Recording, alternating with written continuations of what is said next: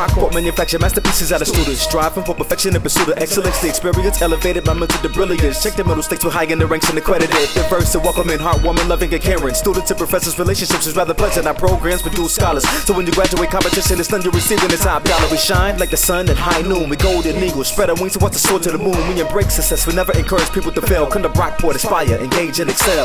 My name is Amen Ptah, and I attend the college at Brockport.